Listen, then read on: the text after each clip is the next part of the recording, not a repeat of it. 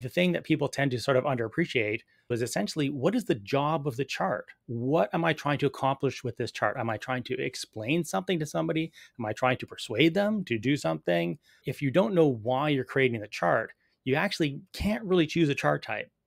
Welcome to the Data Career Podcast, the podcast that helps aspiring data professionals land their next data job. Here's your host, Avery Smith. Welcome back to another banger episode of the Data Career Podcast. As always, I'm your host, Avery Smith, and episode 95, you guys. Wow, that's absolutely incredible. We're almost to the triple digits, which will be quite fun. I'm very excited for today's podcast, and after listening, you're going to leave with a better idea of how to construct good data visualization, which is key for every data career that there is. We'll talk about what you should do before you even start making a chart. We'll talk about how to choose the right chart. And we'll talk about one of the coolest methods ever for creating data visualization, which is actually the way that I create charts. And I never realized it had a name, but it's super fun. It's super easy. It's a great method. And I think you guys will really enjoy it. My guest today is a data viz expert. His name is Nick Desbarats. And as an independent instructor and author, Nick has taught data visualization and dashboard design to literally thousands of professionals in over a dozen countries at organizations like NASA and Visa, Bloomberg, Shopify, United Nations. Like he's done it everywhere, you guys.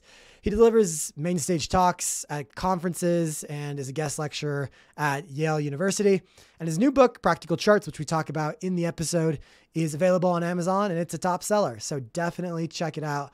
We'll have Nick's links in the show notes or description down below. So be sure to check those out. And let's go ahead and hop into this week's episode. Thank you guys for listening.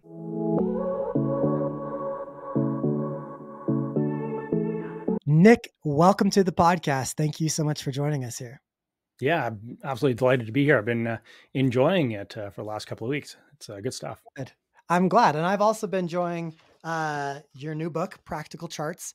Um, I guess it's it's about six months old. You have an, even a new book out now. So Nick was gracious enough to, to send me a copy. We'll be talking about it today, and definitely we'll have a link in the show notes down below great book to check out. And we'll be talking about a lot of the snippets from the book so you can get a good taste of of what it's like. Congrats on the book. That's got to be a lot of work. Thanks. Yeah, it was. Even more I was, than I was expecting, and I was expecting a lot. I was going to say you probably don't want to do that again, but you just did it again and just published again after 6 months. Yeah, yeah. Well, actually, sorry, the, the the this one, the first one, actually came out in November, so it's only been a few months. But then this one just came out oh, last right. week, uh, which is basically kind of an optional companion book that contains kind of more advanced chart types that you know things like scatter plots and histograms, which probably a lot of people watching this are going to be familiar with, but lots of audiences are not. And so I kind of split those quote unquote advanced chart types into a separate optional book for people who do have those more sophisticated audiences. Yeah, that's awesome. Look at me thinking that November was six months ago, but that was like 90 days ago. Time. so yeah, I guess, I guess it still is. One of the things that is really cool about your book is there's, I think what, let's see here, five, seven different parts, but a good chunk of the book really from page, let's see, from page 79 to 212. So uh, like 150 pages basically are choosing chart types. And so that's one of the things I, I wanted to, to talk to you about picking a right chart. And, and so if someone's maybe they're an accountant or maybe they're aspiring data analyst listening right now, how do you know what type of chart to make? Yeah.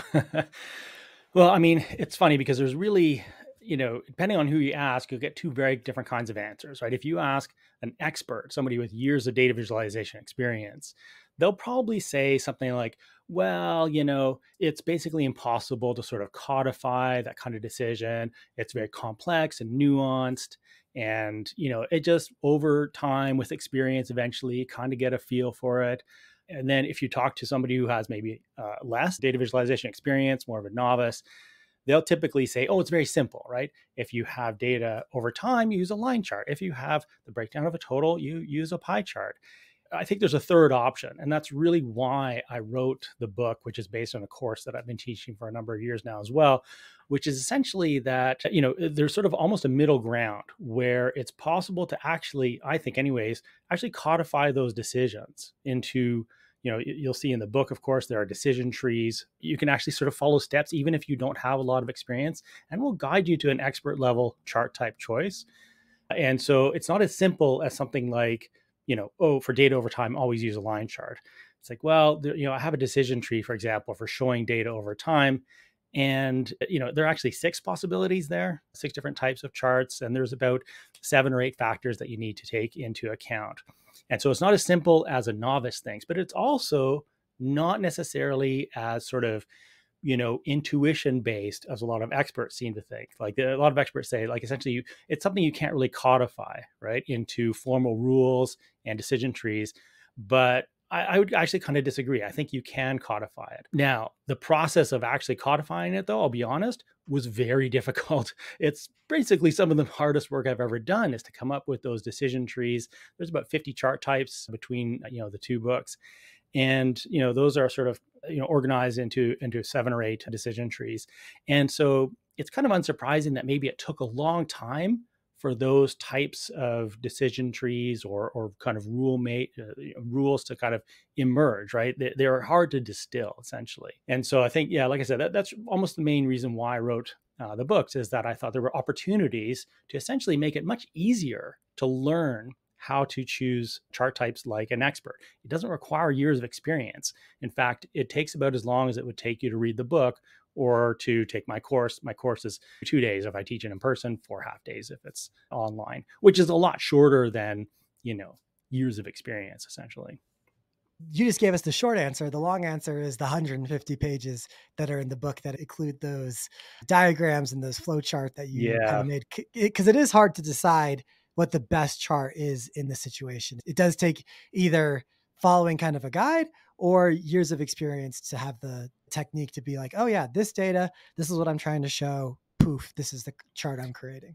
Yeah, yeah, and there's lots of misconceptions around it too. Like a lot of people tend to think that you know choosing a chart type is is all about the the nature of the data, right?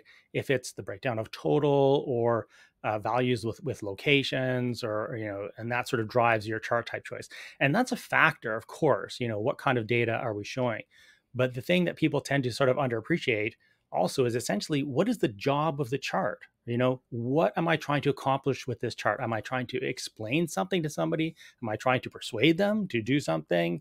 Am I just trying to make them aware of some interesting trend or problem or something like that? And so, you know, if you don't know why you're creating the chart, you actually can't really choose a chart type.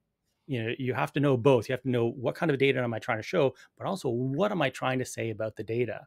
Because that often is a is a huge consideration in actually choosing a chart type. A lot of people don't necessarily really understand that until hopefully anyways until they read the book. Makes sense. Makes sense. Yeah, I think that's actually really interesting because a lot of the times it feels like we're creating a chart because maybe we've been asked to create a chart or we feel like creating a chart is is the right scenario but I, I kind of liked what you said that each chart has a job. Can you speak to that a little bit more? Yeah. In fact, you know, sometimes people ask me, like, is there kind of a central idea behind your book and your course? And I think that's basically it, right? Charts are basically graphics for doing a job. And that's not the way that most people think about charts. Most people think about charts as, you know, visual representations of data but i don't think that's actually a really useful way to think about you know charts because you know all charts are visual representations of data even really bad charts but only good charts do their job and when you think about it that way as essentially you know a graphic for doing a job it just completely changes the way that you even approach creating a chart in the first place you know? like when people start my course or before they read the book they often think that you know when, when they sit down to create a chart the first question they ask themselves is what is the best way to visualize this data? Right? But hopefully after reading the book after taking the course they're actually asking a different question which is do i know why i'm creating this chart in the first place? And that just requires a big mental shift and it takes about two days to sort of really think in that way right? You know so, so don't start with the data start with the reason because unless you know why you're creating the chart, you know, is there a particular insight you're trying to communicate? Is there a particular question you're trying to answer? Then it's virtually impossible to make most chart design choices you know, not just choosing a chart type, but also deciding how wide or narrow to make the scales, deciding what annotations to put in there, any comparison values, what colors to use. These are all driven by the why, you know, what or the purpose, the job of, of the chart. And so I tend to view charts almost almost kind of like products. You know, you're creating a, a communication product, right? It's not it's not like a something scientific or like a like a photograph or something like that of, of the data. It's basically your way to say something about the data and then to accomplish some kind of purpose like to persuade people to do something or to explain something to them etc and so it is quite a different way of thinking, but it's a much more useful way of thinking that dramatically improves the odds that your chart is actually going to do whatever it is you wanted it to do, right? We don't create charts for no reason. There's always a reason, you know, like I said, persuasion or explanation or whatever. And it, your chart is much more likely to actually accomplish that if you approach it in in that way. This is a graphic for doing a job. Yeah, mission driven uh, data visualization is what I will mm. what I'll call that. You always want to be trying to show something, which is one of the things I wanted to talk to you about. One of the things that that I, I like to do is is create charts, and you know I'll walk my students through creating charts. And you create the chart, and there's always one kind of pesky thing that most of us do at the end, and and that is to name the chart or to give it a, a title, right? Mm-hmm. And a lot of the times, if we're showing, for example, school data or something, we'll, we'll call it like school chart. Maybe we'll, we'll, give it the name of the data set, like Massachusetts school data or something right. like that. But I, I think that's a little bit faulty. How do you suggest people to title their data visualizations? Yeah, so that, that's a great point. Like, and again, this is something that that people you know have a, a, lot of misunderstanding around like a lot of people think of of charts or good charts anyways as being sort of just just the numbers right with and so you put just generic chart titles just as much like the ones you were describing. I kind of disagree though. I think that charts are much more useful if we actually have key messages right in the chart itself. In fact even even the title of the chart could be something like you know whatever. We have we started to have a huge problem with you know student test scores in in July because whatever reason you might have in mind. And even putting annotations in the chart, little, you know, I favor kind of sort of handwritten typeface notes that say this is this is the thing right? This is why i've decided to show this information to you. Now when i teach this in workshops a lot of times people kind of balk and they're like oh no no no. That's wrong. That is that is not ethical right? You know the chart should just show the data without any interpretation or messages explicitly stated because that's going to bias the audience, right, in terms of how to interpret the data. And, and, and charts should be sort of neutral or interpretation free. And this sounds great, right? It sounds totally noble, but I don't think it's actually even theoretically possible to create an interpretation free chart, right? Like when you're making all of those decisions in terms of choosing a chart type and colors and scales and all that you know you basically have to have an insight in mind in order to make those decisions. If you don't know why you're creating the chart you know what message you're trying to communicate or what question you're trying to answer then those design choices are going to be random and your chart will basically feature random insights right? And so but people like to think that they're creating neutral or sort of interpretation free charts. Like i said i don't think that's even theoretically possible every chart you've ever created has your interpretation baked in, whether you realize it or not. It was driving most of your design choices. And so you might as well take that last step and just tell the audience, this is why I think you needed to see this information. Now, they might disagree, right? They might say, oh, well, you know, I think student test scores are actually declining for a totally different reason. And that's fine. That's great. Then you sit down, you talk about it because eh, eh, you know clearly pe- different people have different understandings of, of reality or of what's actually happening but the solution can't be to try and create you know neutral or interpretation free charts because those don't exist. We'll talk about this in, in a bit, but really with data visualization, the majority of the time you're trying to communicate, right? You're trying to show someone something that was previously hidden in data, hopefully well. But in what form of communication would you ever want to be unclear or ambiguous right in all in all communication the more direct the easier it is to understand, often the more effective it is. Not not to get political, and this is not political, but I think Mm. that's one of the reasons why. And you know, there's been studies on this that that Trump has spoken at like the lowest grade level ever as any sort of presidential candidate. And Yeah. you know, politics aside, I think that it's he's easy to understand what he's trying to say, whether you like it or not. The more simple that you can make your communication, often the more better. And so, why would you want in the data visualization world to make your message muddied and and difficult to interpret? It, it doesn't really make a whole lot of sense when you frame it the way you have framed it. I feel like. Hopefully not right i mean but but charts are just like any other form of communication you know if you want to be dishonest you can be you know Yeah. like if you want to try and hide problems for example that the audience would probably want to know about it you can do that just as you can do that in a speech or in an email you know like yeah. exactly like charts are no different in in in that sense and so yeah like uh, you know hopefully you're not going to be doing that very often but in terms of kind of the ethics of it to me, lying with a chart is no different than lying with an email or with you know verbal communication. I know sometimes people tend to think that charts are somehow special or different, and that you know all charts have to be truthful as being sort of somehow sort of different. Charts are no different than lying in, in any other way, essentially. Even though, like I said, sometimes people think that charts are somehow special, a special form of communication where you always have to be honest. But ethically, you know that's kind of up to you whether you want to be lying or not whether you do it with a chart or an email or whatever it doesn't really make much difference as far as i'm concerned Totally. I, I love How Charts Lie by Alberto Cairo. What Mhm. a really good data visualization book. And Yeah. it's actually interesting because I think a lot of the times with email or with with a PowerPoint or even with the data visualization, you can even give the truth, portray the truth, but maybe in an untruthful way. One of my favorite examples to go back to Trump was one of the early visualizations in this book is a map that Trump actually showed where the whole United States was basically red. And it was Yeah. what it was showing is who the counties voted for, right? Who won the county vote. And turns out there's a lot of counties that voted for Trump and didn't vote Democrat. I think he's right. He's not telling a lie there. But he was saying that, you know, he should have won the election because look at this graph.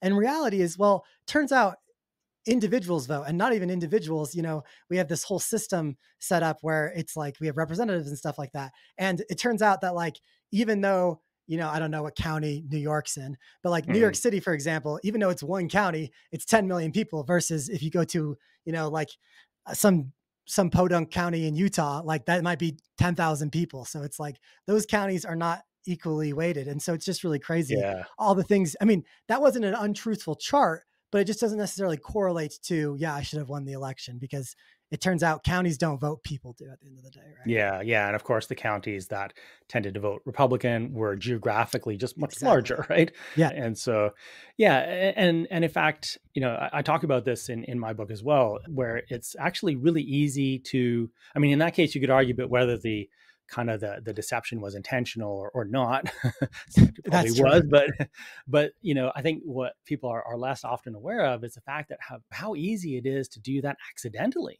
right? Sure, where you're not actually trying to deceive anyone and yet you end up creating a chart that does actually give an erroneous representation of the data right?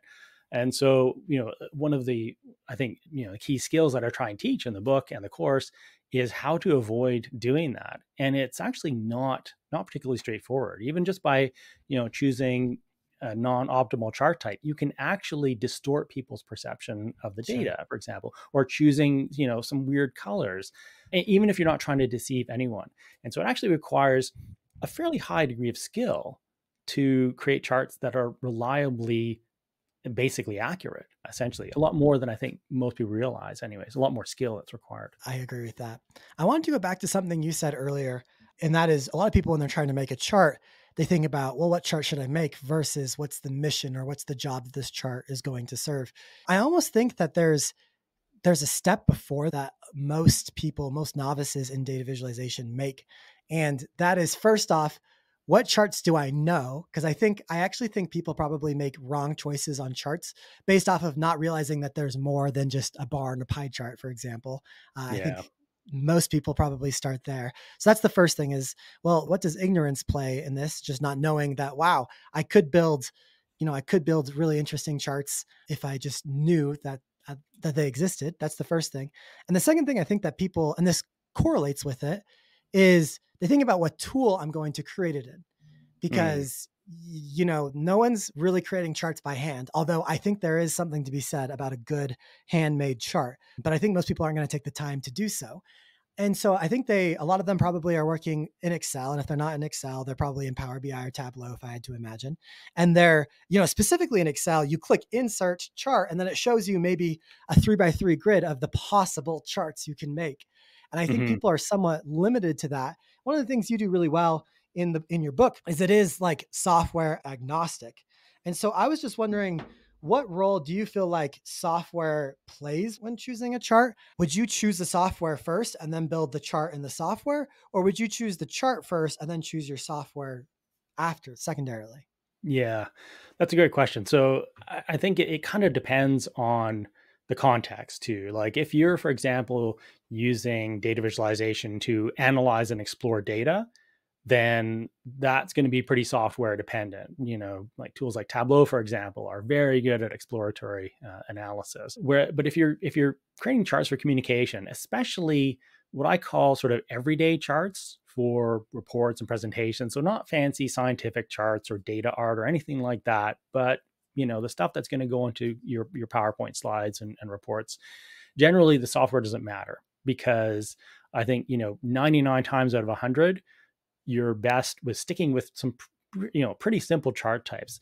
Now there are i think about 50 of those.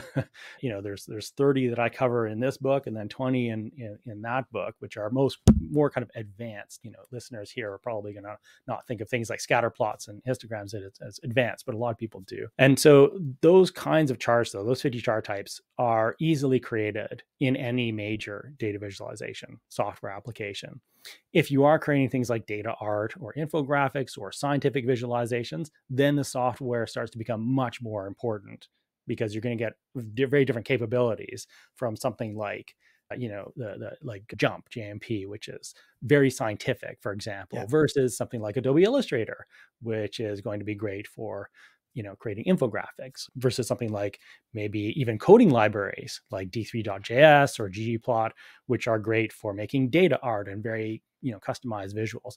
But for everyday charts no you know it, it doesn't really matter essentially.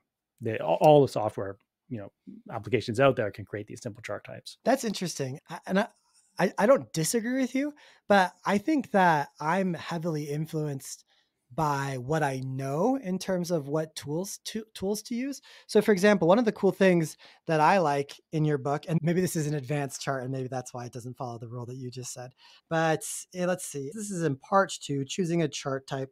Oh yeah, actually the one, two, three, four chart, the fourth chart you talk about is one that I don't think is is very common. I think it should be more common. Is a bump chart. I think a bump mm. chart is fascinating. Basically, if you guys don't know what, what a bump chart is, is it's basically a line chart, but instead of showing a quantitative variable, you're showing the rank that something w- was in. So it's it's very good for showing ranks. I've seen it used for presidential elections and like poll results. I've seen it run for like athletes, like sprinters or runners. And I love the bump chart, and it's something that I don't see very often.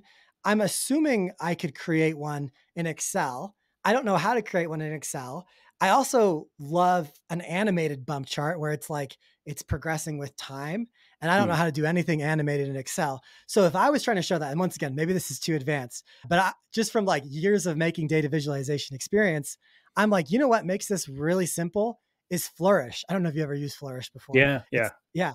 Flourish makes an animated bump chart like seriously so easy. And so like that's where I would go. And I would never try to do it in Excel. I, am a big Python guy, so maybe I'd te- attempt it in Python. But like that type of chart, I'm like, man, I have to use Flourish to do it. But maybe I don't. Maybe I'm just limited to my knowledge. Yeah, so there are some chart types amongst the 50, you're right, in, in my books, which are, are, maybe a little bit less well known, but I included them for very important reasons. There are certain circumstances under which, if you use like the more common chart type, like, you know, the alternative to a bumps chart would just be a, a regular standard line chart, but where that's actually, you know, the standard line chart is just not going to work. it's not going to say what you need to say if you want to talk about how things change in rank over time, right? Yeah. It's it's going to it's going to be a bad chart at that point. And so I'd say there's probably maybe I don't know, 8 or 10 of those 50 charts that are not that well known, but if you want to get really good at this, you need to know about them because there are specific circumstances which do occur actually fairly often in which you actually have to use them. Even if maybe if your audience is not familiar with that chart type, because if you use the more familiar chart type, you're actually going to potentially even misrepresent the data. Like another good example of that would be step charts. You know, a step chart is basically a line chart, but that looks like stairs, kind of. You know, uh, you've probably seen them maybe before. They're not a common chart type, but there are you know specific circumstances in which if you don't use a step chart and you use let's say a standard line chart instead you're actually distorting the data you're misrepresenting it and so while i always encourage you know uh, for these everyday charts that you use the simplest chart type the most familiar ones there are times where those simple familiar chart types actually will distort things, they'll distort reality, or they just won't say what the audience needs to know uh, about the data. So there are eight or 10 that are set, like I said, a little less common, but you should really know about them. Not to get into the weeds here, but I want to go into that step chart. When would I want to use a step chart versus a line chart? I'm curious about that. Well, a good example would be let's say you're showing, I don't know, like the price of an, of an item on Amazon over time. Ah, okay. Yeah. Right. And so essentially, you know, how that data works is you have a price change, and then that price change essentially remains in effect until the next yeah. price change when it, you know, maybe jumps up and stays there for a while and then goes down. And so if you connect those price changes with a standard line chart, it's going to look pretty yeah. weird, right? I, and I agree. I've even seen people like actually really misinterpret a chart like that to look, and they think that oh, the price kind of steadily declined from yeah. one point to the next. It's like, no, no, no, no.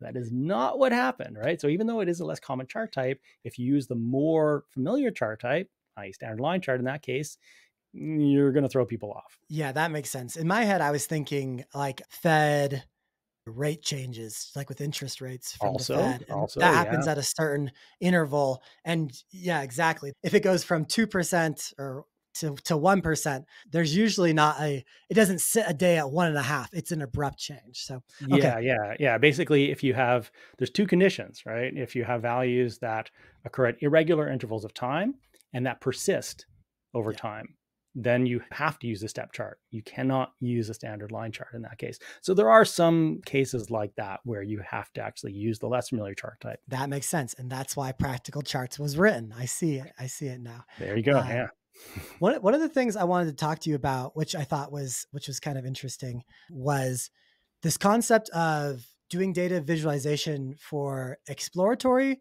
reasons versus communication reasons. Yeah. And just to let our, our audience behind the the curtain a little bit, Nick and I were kind of planning a segment where I sent some data sets and I was like, how would we visualize these? And I honestly sent them too late to really put them in the segment. But Nick and I were talking about it and one of the things I think is interesting, Nick, I don't actually know your full background. I know you've been doing this data viz education and consulting for a while. I don't know exactly where you started, but I started as like a data analyst and then a data scientist. And then I got really into data visualization kind of af- after doing that. And so I've always kind of started my analysis from like dirty data to cleaning the data to storing the data to creating models with the data to then doing data visualization kind of at the end. And one of the things that you had mentioned was it's like, well, a lot of the times when we're trying to do like good data viz for communication, we don't even want the full data set. We want like the very clean, very polished, like almost end results that we're going to communicate mm-hmm. there. And so I just wanted to hear your thoughts on what's data viz for exploratory versus communication purposes. Yeah, yeah, that's a great point. Which again, unfortunately, a lot of people don't really appreciate is that their data visualization can, can be used for all sorts of things, uh, and especially if you're talking about communication versus analysis, those are just utterly different use cases. But unfortunately, when a lot of people talk about you know data visualization best practices, they don't actually distinguish between the two use cases, right? But the the be, you know best practices and guidelines that apply are radically different. If you're just creating charts for yourself to explore data, find patterns, interesting insights, exceptions, anomalies, that kind of thing, right? Because you can use, in fact, really esoteric chart types if you want, you know, because it doesn't matter because you're the only one who's ever going to see it. as long as you understand what you're looking at, that's that's all that matters. And you don't have to worry about things like storytelling or annotating the you know the charts or having you know uh, eh, you know chart titles with uh, messages in them obviously you know you don't have to worry about any of that. And really what you're typically going for in that context is speed and iteration right just looking at the data from as many different angles as you can you try different filtering different chart types you know throwing spaghetti against the wall essentially and just seeing if there's anything that sticks you know is there anything interesting that kind of pops out? When you found those insights of course then you need to completely change modes. Okay now i'm in communication mode. Throw out everything that i was doing before in terms of best practices and and you know selecting chart types and whatnot. Now i'm aiming for very targeted communication simple chart types simple as possible anyways but still say what you need to say about the data and represent the data accurately I'm going to, you know, put a lot of thought into the, the, chart titles and the messaging and and the colors and and all that kind of thing. And so, really, you know, I'm very clear about that in the beginning of my books that this is these, these books are about communication. You know, at some point, hopefully, I'll be writing another book called Graphs for Analysis. It's actually a course that I've started teaching as well. But that is just very, very different in terms of, you know, that, that book is going to be a very different kind of animal than the books about communication. It's so cool because really when it comes to data visualization is there's a bunch of numbers and you're trying to figure out what story do these do these numbers tell and when you're the person who's been cleaning the data staring at the data analyzing the data you actually become quite intimate with it like you really understand mm, it from forward yeah. backwards and when you're trying to when you create a visualization you have all that context because you've put all the groundwork into really understanding what's going on that at that point where it's like the storytelling the actual chart type like it doesn't really matter because you kind of know the story from just you know living inside of the data for so long mm-hmm. the issue comes when you have to present that to a ceo or some sort of person who's outside the data they're unfamiliar with the data they don't know the context and they're yeah. only going to really come to know the data through your chart you kind of have to pick up the slack for them with your chart type your title your color schemes, all, all that stuff to kind of paint the full story for them. You've kind of been in the, the trenches, so you know what's actually going on. When you're not in the trenches, you have to be really careful and really intentional on how you're portraying the story because these people just don't understand. They're not there with you. Exactly. Yeah, no, uh, that's that's well said. I mean, this is, you know, unfortunately a really common problem. In fact, there's I think a couple of problems wrapped up in, in what you were talking about there. You know, the first is that as analysts, we often have a tendency to kind of fire hose our audience. And especially if it's the CEO, if it's somebody who's really senior, they don't need the fire hose. They need very tightly distilled key messages that they can absorb very quickly because they're very busy and they don't have time to, you know, get all of the secondary information and, and all the context. And in effect, they're kind of relying on you to sort of have that. Like you kind of dealt with all that and you're just giving them the very distilled key message. We have this problem. You know, here maybe are two or three recommendations about what to uh, what to do about it. It's really neat because once again, I've never been I've always been into data visualization, but always in the context of I'm a data analyst or I'm a data scientist, not like a, a data visualization specialist. And so one of the things you talk about in your book that's that's related to this about like kind of kind of this this idea of exploratory and it's actually just three pages in your book. It's called The Spray and Pray Chart Arrangements. And it mm. really resonated with me because I was like, yeah, that's what I've been doing my whole career. I just didn't know oh, that like that's what the name was. And and for those yeah, who yeah. are unfamiliar, which I'm assuming everyone is because I was unfamiliar, is the idea, and correct me if I'm wrong, the idea with the spray and pray is basically you're trying to create as many maybe not as many charts as you can, but you create lots of different charts trying to capture one story or multiple stories, and you're not exactly sure which one your shareholder, which one might resonate best with them. And so you kind of present to them a buffet of, of data visualization and you say, hello, my lord or my lady, which one of these would you like of these appetizers? And they, mm-hmm. they're like, oh, you know what? that visualization is really good. I want more of that visualization. So usually that's from my perspective, that's like I give them a 15 page PowerPoint with one visualization on each slide. They're like, oh, I really like slide seven and slide eight, you know, and then I spend the next, I don't know, two weeks really perfecting those two visualizations because you know, when I created them, it was just messy for me. And I cleaned it up a little bit for my boss, who still has a decent amount of the context, but we're trying to present to a shareholder or the board who doesn't have the context. And so we really spend the rest of the time perfecting it. And I was like, this whole process makes sense now the way that you're explaining it the spray and pray chart arrangement. Yeah, yeah. So eh, that's actually the term is actually an insult. I kind of borrowed it from military circles, where it kind it's, of is. Yeah. It's basically kind of the act of kind of randomly spraying, you know, projectiles somewhere in the general direction of the enemy and hoping that one of them is going to hit, right?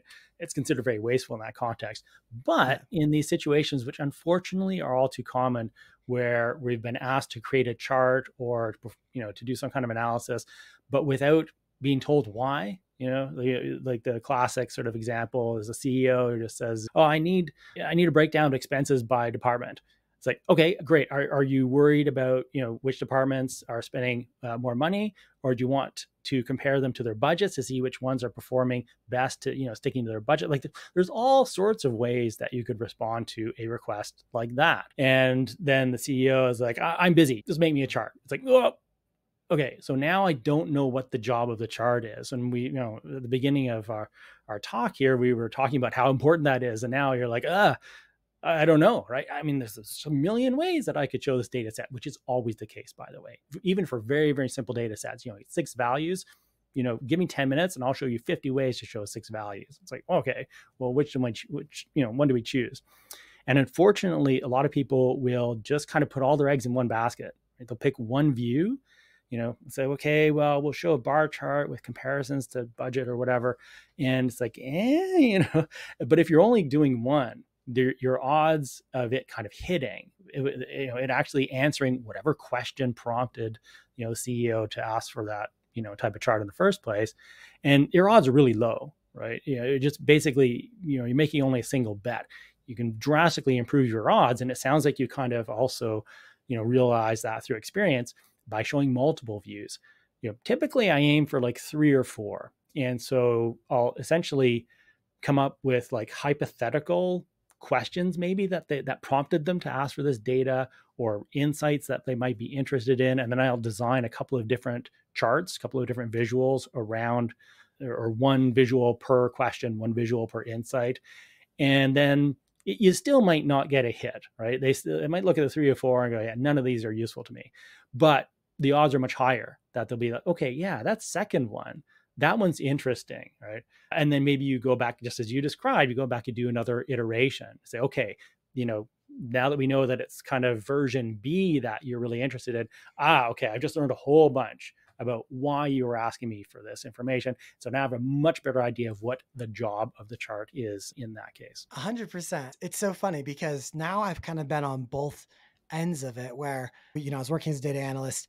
My boss was like, "Hey, tell me what's going on. Tell me what's going on here." And, and it's like maybe the boss didn't even know what's going on. So I perform these data visualizations. I make the smorgasbord. I present. Oh, I really like this one. I really like that one. And I think a lot of the time, and and now on this other end, when we're doing the capstone module of my bootcamp, I actually allow my students to work for me and visualize my company's data. So we'll look hmm. at things like my social media data, my YouTube data, my podcast data, my marketing nice. data, all that good stuff. And now I'm the other end where I'm the busy CEO, not giving them good enough direction. But a lot of the times is you don't necessarily you only see the six inches in front of you and you don't necessarily know what you want until you see the six inches and then you see the next six inches so on yeah. and so forth. And so it's so right. funny because now I've been on the other end and I just really like this method. I think people can really learn a lot by by picking it up and testing it out because it's really not all that much more work. You're probably, you know, creating these charts. It's just you have to show them and see which which one your your boss or whoever you're trying to communicate to resonates with. Yeah, absolutely. Yeah, I completely agree. You know, when I started doing this number of years ago, my life got much simpler because it's actually, you're right, it's actually cre- easier to create multiple views than a single view.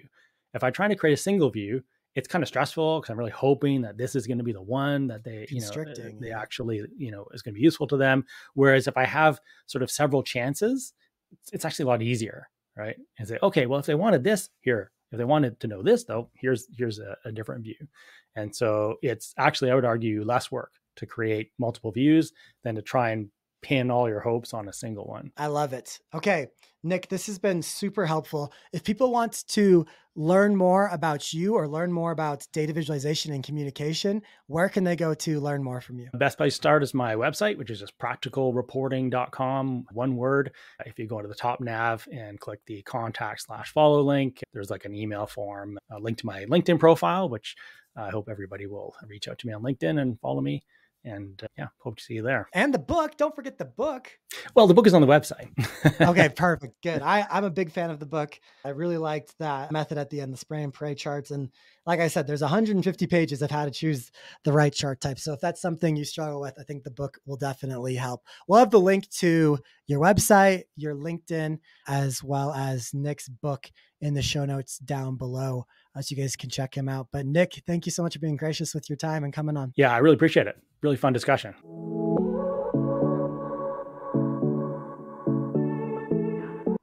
Well, did you guys enjoy that episode?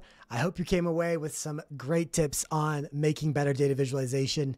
As always, you guys, thank you so much for listening. If you enjoyed this episode, you enjoy the podcast, the easiest thing that you can do to say thank you is leave us a rating and a review wherever you listen to podcasts. That helps me stay motivated because it makes me realize, oh, wow, people do actually enjoy this show. And uh, it also helps other people like you discover the show. So go ahead and do so if you haven't done so before. You also will get access to our bonus gift. If you do so, there's a link for that in the show notes down below. And also, lastly, I recently put out something that I'm pretty proud about. It's called Avery GPT.